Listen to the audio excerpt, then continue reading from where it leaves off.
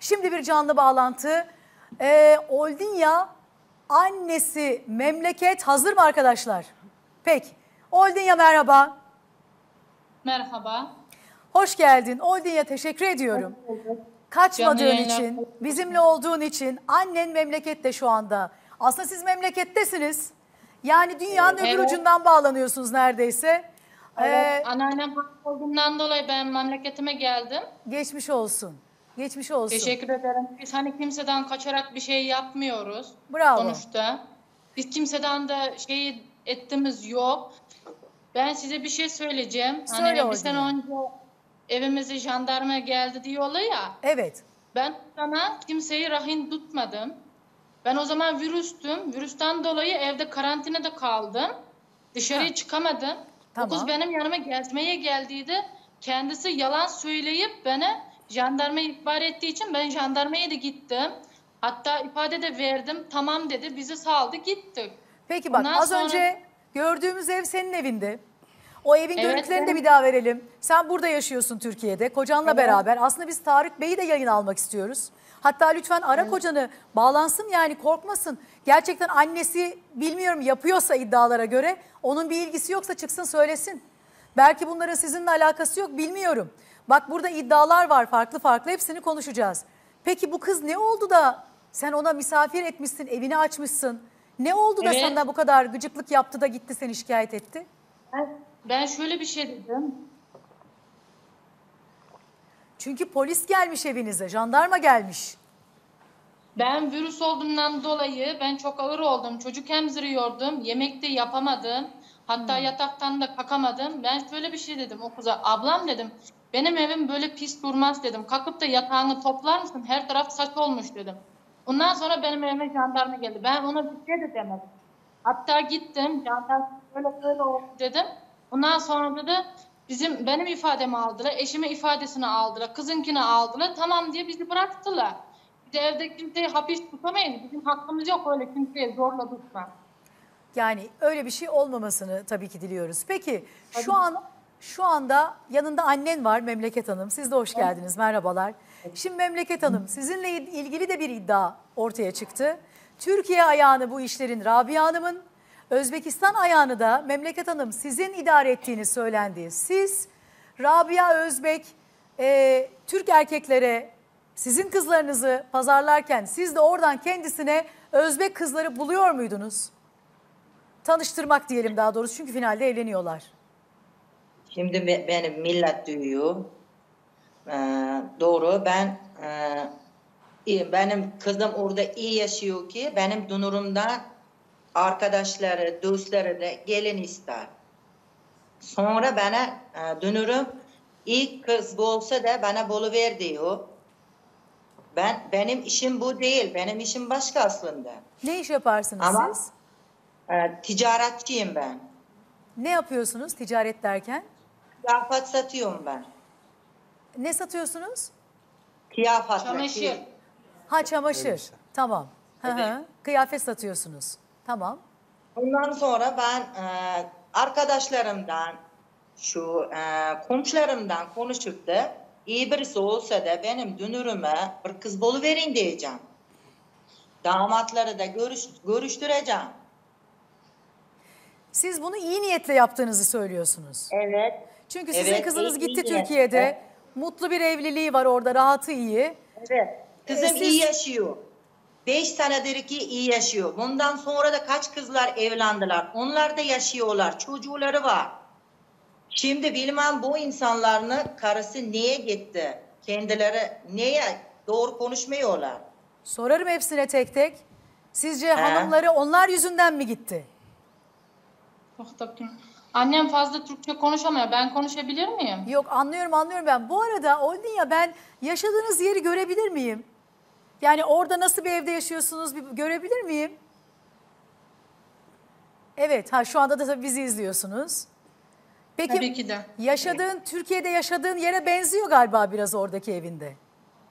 Hayır, orası beyaz, burası kağıtlı ev. Türkiye'de kağıtlı ev yok ki. Kağıtlı ev yok mu Türkiye'de? E senin oradaki Yo, evin ben- daha güzelmiş. Burada da var aslında da sen çok görememişsin. Peki bir görebilir miyim böyle bir mutfağı, salonu böyle bir dolaştırır mısın bana? Uygunsa tabii yani. Bu sefer. Ha çünkü hani Türkiye'deki evini biraz gördük, içini görmedik ama şimdi diyor ki bak kağıtlı ev yok Türkiye'de. Ev kiralık ev. Köydeki Olsun. ev. Sonuçta yaşadığınız ev ama. Burada. Evet. Dur arkaya nasıl çevriliyor bu? Fark etmez çevirsen öyle. Çevir, kendi görüntünü çevir. Ha, peki. Peki. Biraz da karanlık ama çok göremiyorum ama yani oradaki yaşamınla buradaki yaşamını görmek için bunu yaptırıyorum sana. Peki Oldinya sen eee kayınvaliden Türkiye'de kızları burada evlenmek vaadiyle beylerle tanıştırıyor. Bundan para aldığını biliyor musun? Ya da annem biliyor mu burada para alındığını? Çok Yok. ciddi paralar almış. Yok ben bilmem. Ha, ne notları Zahide. Zahide Hanım. Dönürüm gerçekten iyilik işi yapıyor. Evlen evlengini e, evlendiğince damatlar Rabia Hanım çok sağ ol, var ol, Allah razı olsun diye dua ederler. Kötü günü de Rabia mı kötü oldu? Gelinler kaçsa benim dünürüm mü suçlu? Peki siz şimdi dünürünüzü seviyorsunuz ama mesela para aldığını bilmiyorsunuz. Burada çok ciddi paralar Yok. almış. Ben- benim haberim yok. Memleket Hanım haberiniz var. Bak Neşe Hanım, Siz- Mus- Serkan'ın Siz- kız kardeşi. Sizi ben aradım. Gül dedi. Abla, bıçak telefonda- çekti. Kaçmadan önce. 1500 doları Bak ben sırayla birbirimizi Kızıma dinleyelim. Benim abime bıçak çekti. Aç kapıyı gideceğim dedi. O kızı siz götürdünüz. O kızı Evet, siz ben götürdünüz. gönderdim. Ben- Sizinle Yo, ben- iletişime geçtik. Türkiye'ye gönderdim. Ben Anlamadım. Türkiye'ye gönderdim. Kızı ben Türkiye'ye gönderdim. Sen Türkiye'ye gönderdiğin gibi geri de aldın. Üçüncü günü, Hayır. Üçüncü günü biz, Kız bana aradınız ben size dedim. Abla ben Özbekistan'dayım. Nereden bileyim? Kız nereye gitti dedim. Doğru mu? Bakın sizler bir çetesiniz benim gözümde. Şahsi olarak bizi dolandırdınız. Dolandırdınız. Ve ben bak- bunu Rabia'ya da söyledim. Sizle konuşmada da söyledim. Dedim ki ben sizin gibi çeteyi çökerteceğim. Rabia'nın bana vermiş olduğu cevap ne oldu? İstediğin yere git borç para verdim der geçerim. Hepsi kayıtlı. Şu Zayde Yetiş programına çıktım. Delilli, ispatlı, kanunlu bir şekilde.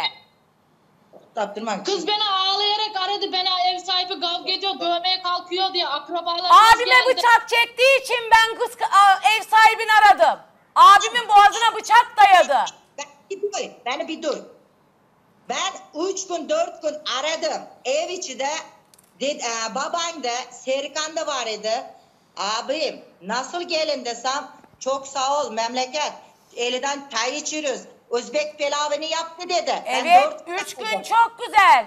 Üç gün çok güzel hizmet ettiriyorsunuz. Dördüncü günlerde gelin, araba gönderip alıp götürüyorsunuz. Siz çetesiniz çete. Ben ev ben gönderdim. Size elinizde benim dönürüm verdi. Şimdi siz de burada suçlu. Ben değil. Rabia Gökçe o zaman suçsuzsa şurada bizden korkuyorsa geçsin karşımıza hakkını savunsun. Ben burada iddia ediyorum. Ben burada iddia ediyorum. Dolandırıcı haklıysa çıksın karşımıza bizim karşımızda konuşsun. Evet. Senin kardeşin oralardan bulamadı. Benim anneme yalvardın lütfen bulalım bulalım diye. Sen evin içinde değildin abla. Ben, evin ev- içinde Aa, ben sana bir şey söyleyeyim mi? Ben bu olayları para verilmeden önce bilseydim hayatta yaptırmazdım. Sen nasıl ablasın şimdi stüdyoya gelip beni de dönürümü de dolandırıcı diyorsun. Sen nikahını Evet da dolandırıcı. Şuradaki Peki bir insanları dakika Neşe. dolandırdı. Sen ne kadar para verdin? Serkan. Abi de- Biz 40 milyar verdik. Bir dakika 40 milyar vermişler. Bakın Memleket Hanım bir dinleyin. Dinleyin cevap verirsiniz. 40 bin 40 lira bin- para verdik biz. 40 bin lirayı kime Artı, verdiniz? e, Rabia Gökçe'ye 40'ını Peki Memleket Hanım'a para verdiniz mi? memlekete vermedik. Olivia'ya para verdiniz Hayır mi? onlara vermedik ama Rabia'nın değişi dünürüme gönderip pasaport işlemlerini hallettiriyor. Peki siz pasaport için parayı nereden buluyordunuz kızları buraya gönderirken? Nasıl? Yani Pasaport kızlar için- Türkiye'ye gelecekler, pasaport çıkartacaklar, uçak bileti alacaksınız. Bu parayı nereden buluyorlardı kızlar? Kendileri mi Biri- veriyordu? Ha? Kendi aldı. Kızlar kendileri mi alıyordu bu parayı? Kendileri mi Ama veriyordu? da- Kendi alıyor. Yani Rabia ekip mi alıyordu? Ya Serkan babasıyla kendileri aldılar gelin gel uçak biletini. Ha. Peki şöyle uçak bir şey- biletinin dışında Rabia'nın para verdiklerini biliyor musunuz? Sadece Hayır. onlara kız bulduğu için.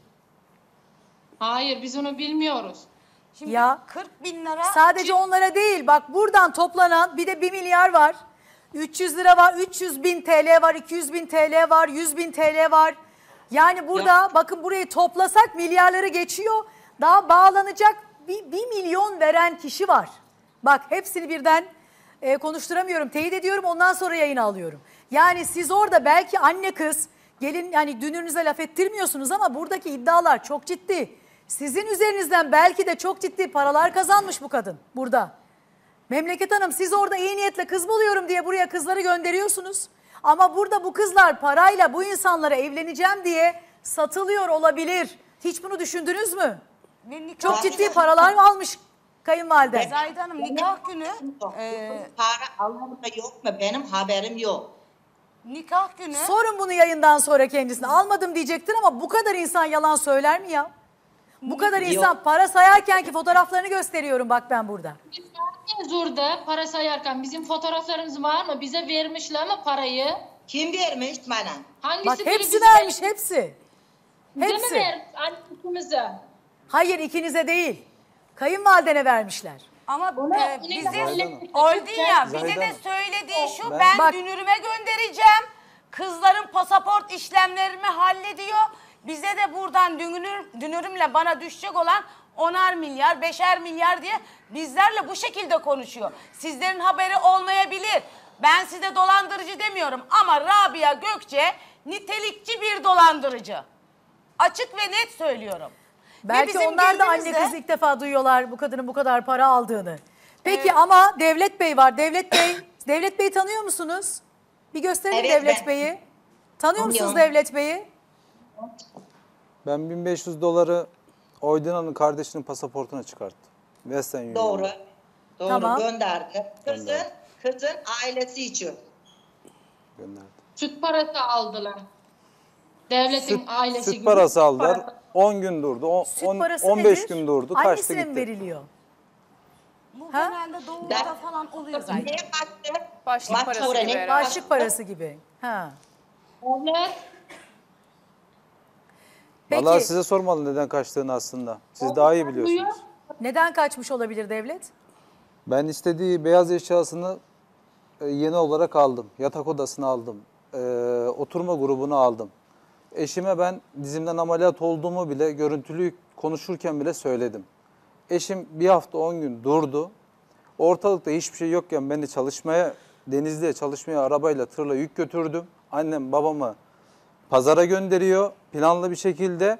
Pazara gönderdikten sonra da aldığım altını, elbiseleri, kozmetik ürünlerini her şeyi bavulla doldurduğu gibi e, Afyon'dan bir ticari taksi çağırıyor. Evimden kaçıp gidiyor. Hani ortalık yerde dövme yok, bir şey yok veya başka bir şey yok. Sebebi ne yani? Özbekistan'a gitmesinin sebebi ne? Ben buna Beni şehirde... dinler. Ben seni dinledim. Sen beni dinler misin? Söyle, dinliyorum hadi.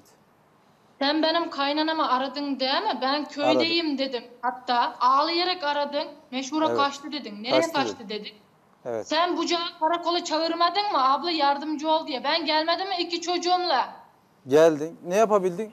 İlk geldiğinizde dedin ki siz, siz internetten tanıştığınızı söyleyin dedin. Ben sizin işinizi şöyle halledeceğim, böyle halledeceğim. Ben ifadeyi verdim. Ondan sonra ne sen kaldın ortalıkta ne de Rabia kaldı. Ben kaç yalan saat durdum konuşma. orada? Ben orada kaç saat durdum? Meşhura hadi gidelim. Tamam istemiyorsan boşandırayım diye. Ben ne Abilerin dedim? küfür etmedi. Ma maş Abin birini gördüm orada. nerede Senin dövdü seni? Sen sen sen hiç dayak yiyecek birine benziyor musun? Söylemiyorsun.